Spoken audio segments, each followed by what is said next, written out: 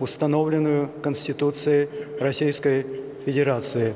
Уважаемый Владимир Владимирович, прошу вас принести присягу.